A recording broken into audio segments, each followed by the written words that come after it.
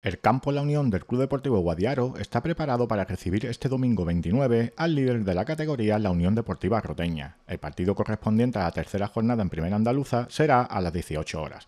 El Club Deportivo Guadiaro viene de empatar en su último encuentro en el feudo del grupo Empresas Bazán Club de Fútbol, estando en la tabla quintos con 4 puntos. Por su parte, la Unión Deportiva Roteña encabeza la lista con 6 puntos tras ganar al Puerto Real por 3-1 la pasada jornada.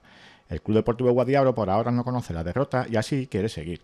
Delante tendrán un gran equipo ya que es el primero en la categoría, pero los guadiareños jugarán en casa y eso es una ventaja con la magnífica afición que tienen.